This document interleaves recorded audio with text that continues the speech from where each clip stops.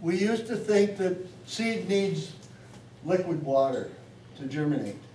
And, but the seed has to absorb forty-five percent of its weight in water to start the germination process and to get it up out of the ground. Uh, what we've found over, over years is that a large proportion of the water it absorbs i- is actually in the water vapor form, not liquid water. Only fifteen percent of its water requirements come from liquid. Uh, so you start thinking, okay, you're creating the ideal seedbed condition. Uh, we know that there's a huge amount of capillary action in the soil of water moving up and into the water vapor form. So in most cases, especially up here, this year is going to be a real good year because of your snow cover. We're actually going to have a very good soil seedbed moisture situation, fortunately. Uh, and there's what I just said, water. Oh, I wanted to show this one, it just said total water soil content. And you can see what happens on days to emerge, to fifty percent, because really the first fifty percent of the seed that makes plants coming up out of the ground accounts for the bulk of your yield. And you can see that, uh, we get up into this range right here, fifteen to eighteen percent. Look at your days to emerge, 13, 12, 9. Better moisture means quicker emergence. Uh, when we look at field capacity of the soil, on dry soil, which you had last spring, you did have a very dry seedbed situation, and you can see what's happened over seven days. Uh, It's not giving you very much of the seed-making plants. Forty percent is sort of the cutoff line. We want to be above that, and I, I think we'll have that this spring coming up. I'm gonna throw this one in. This is, uh, just waterlogging, which you don't have too often, but occasionally, uh, it can be a devastating thing, which it was this past spring in, uh, the eastern part of Saskatchewan and Manitoba. And even three days of waterlogging, where those rosettes are sitting in water, there's no oxygen in the root system. The plant can't absorb anything. It can't take up water, it can't take up nutrients, it stalls out. And we've seen that in the piece in the past. Uh, seven days of water logging, we're looking at a reduction in yield of, uh, well, little, about fifty-eight percent. So about forty-two percent loss in yield, just with seven days of water logging. And it's not quite as critical at the seed filling stage. So the rosette is probably the major one. And why is it doing it? Because it reduced leaf area index. It reduced the photosynthetic capability of the plant by a huge amount. We need a very firm seed bed, and the- nice thing with zero till is we achieved that, or even reduced tillage. Uh, There's a lot of factors involved in there, but I like to see direct seeding. I find, on average, some of the best stems on direct seeding. You've got a firm seed bed to start with, you haven't reduced the moisture level by tillage, and it does make a difference. Uh, pH, literally across western Canada, there's not a huge, huge difference. Our black soils tend to have fewer limitations on average. Uh, that pH issue up here can reduce the amount of germination and emergence. And we find that quite often in our research programs at Beaverlodge and Fort Des. Uh, texture has a big factor. If you've got a sandy loam over here, look at the difference in percent emergent. It's, it's pretty major. It's just moisture holding capacity. That's all it is. Uh, the variety you grow makes a difference. We know that the hybrids have a greater germination capability early. They tend to be larger on seed size, and they get out of the ground a little bit quicker. Higher percent of the seed makes plants. Um, This is just showing the difference between dry matter content, which think of it as leaf area index, and you can see that green line has a much higher ability to produce larger leaves earlier, and that results in higher yields. Seed quality, absolutely important. How many of you actually look at vigor? Yeah, you do, excellent. But the value you get is kind of meaningless, I'm sorry. Uh, unfortunately, our vigor tests are not all that great. We want to have large pump seed. Uh, we had a, quite a discussion here over the last, oh, three, four weeks on wheat in particular. Out of some areas, the uh, thousand kernel weight's very low, like way lower than what it would normally be because of all the, uh, too much water in there, in, in that case. And you gotta look at, okay, uh, how much do you put on? What's your, what's your seed mortality, seed and seedling mortality going to be? It's going to be huge. And we're looking at probably an increase in thirty to forty percent on the seeding rate, on the wheat alone. Uh, I like to see large, large seed, and I'll show you why in a, in a short while. It's, it's thousand kernel weight, is, and it took me about five years to convince the uh, seed companies to start putting thousand kernel weight on their bags. They just, they, they really were hesitant, they just kept hammering them. Hey, you got to do it. Uh, if you don't have thousand kernel weight, uh, it, it's, it's a start of understanding how that seed's gonna make plants. It really, truly is.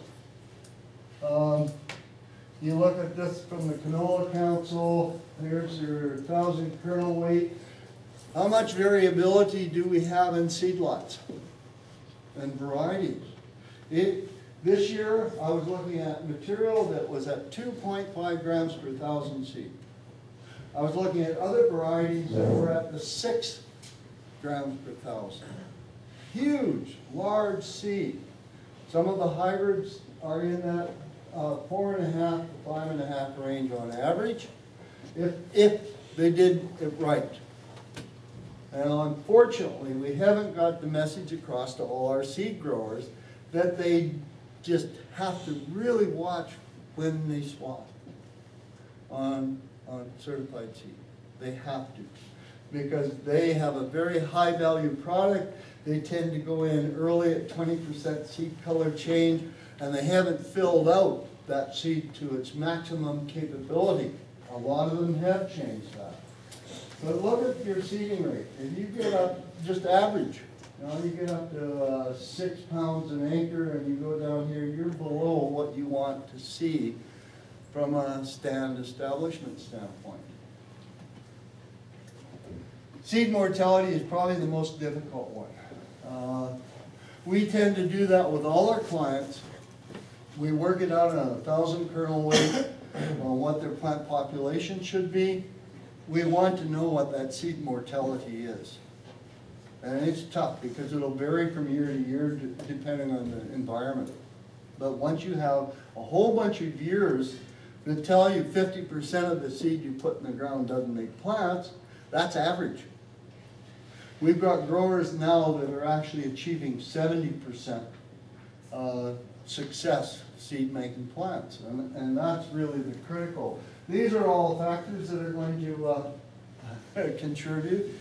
Uh, even the rocks, yeah, it'll stop. The seed comes up, hits a rock, bang, it's finished. But most of it is disease. Most of our seed that doesn't make plants are disease. And it's usually Rhizoctonia, Pythium, or Fusarium. All three organisms exist up here quite nicely in canola. And especially if you're growing canola, canola, or snow canola, snow canola. Because this is a very, Rhizoctonia is, lives in the soil as a spore. And as a spore, it's highly protected, it's got a long uh, period of time it can live in the soil, and it doesn't germinate unless it is very close to the root. So you get a susceptible plant like stinkweed, it'll trigger it. Canola will trigger it. All the crucifers will actually trigger Rhizoctonia germination, and then it'll invade the plant. And I, I found situations, actually one that was really neat. I, I felt sorry for the grower. Uh, he said, well, my field's disappearing. There's flea beetles in there. So he sprayed it It wasn't flea beetles at all. It was seedling blight. Took it out. And our range is twenty to eighty percent mortality. And the eighty percent up here is frequent on the fields that I've watched.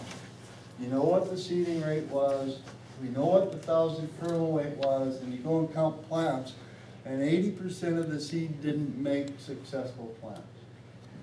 Eighty percent, just, wow.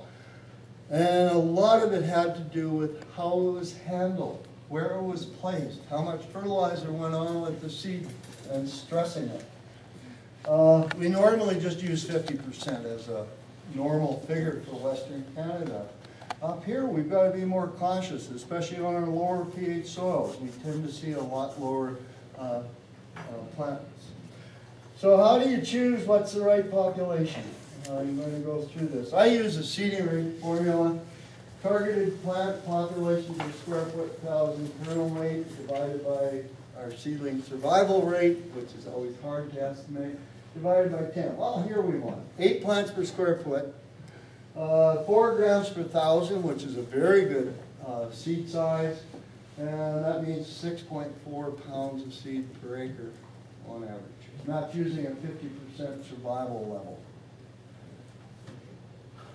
And the reason why is canola is the most flexible plant you're ever going to grow. It is the most flexible plant. Here's sixty plants per square meter up to hundred and eighty or eighteen per square foot. And you look at down here, the average yield is the same. Because those plants can compensate, but there are other issues that come into play here that you have to take into consideration. Uh, when you've got sixty plants per square meter or six per square foot, you've got a plant that will branch more. It produces a lot more branches, so it means it's longer maturing, which you can't, really can't handle in a Peace River block because of your limitations on frost. When you get up into this range, you've got thinner stems. The stems are much thinner, you've got less secondary branching, so it's much more uniform in plant density and maturity, but it will go over on you if you start getting into that higher range. When we look at all the research work that's done, it really doesn't show much difference. Uh, 65 station years of data for Argentina. there was no effect on 35% of those trials.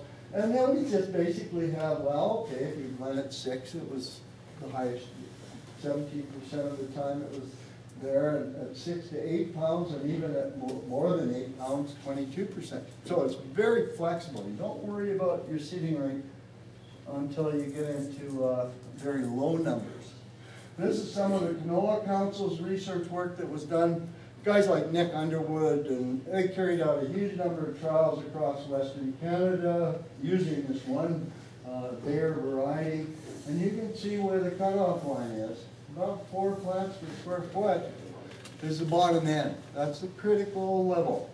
You start getting into much lower than that, and you start seeing uh, potential for loss in yield. Uh, This is taking a different look at it with all the data, and you can see at the ninety percent critical level, it's about thirty plants per square meter, or three per square foot, roughly. And that's the critical area. You can see a whole drop in yield. Yeah, there's some over here at even six plants per square foot, and then it's a flat line until we get to about 25, 30 plants per square foot, which this one didn't go to, uh, you start seeing a drop off in yield at the real high level. I walked fields last year that were 30 plants per square foot. I couldn't believe it. It was bin run seed, got lots of seed, put her in the ground and 30 plants per square foot. What happened? That field logs like you wouldn't believe a good strong straw variety and it still went flat and the sclerotinia levels were atrocious.